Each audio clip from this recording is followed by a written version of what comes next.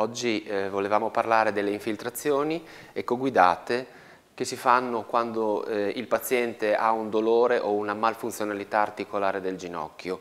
Queste infiltrazioni non sono assolutamente dolorose, si fanno quando il quadro è un quadro di artrosi moderata e soprattutto quando il paziente viene perché non riesce a muovere più un'articolazione o ha un forte dolore al ginocchio. Il miglioramento eh, si ha dopo due, tre settimane, i farmaci usati sono assolutamente innocui, si usano di solito gli steroidi o gli acidi ialuronici.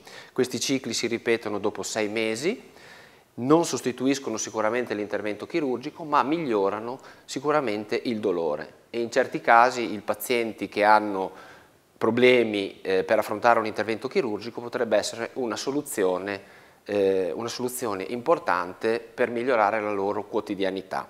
Le articolazioni che si usa più frequentemente per fare le infiltrazioni sono l'anca, la spalla, il ginocchio e la caviglia.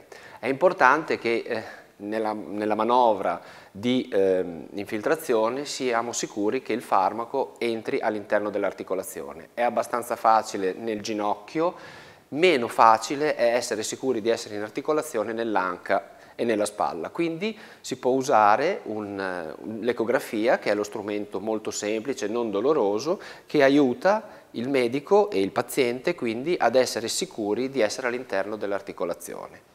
È molto semplice, si usa un puntatore, bisogna stare attenti alla sterilità, non dà assolutamente dolore al paziente.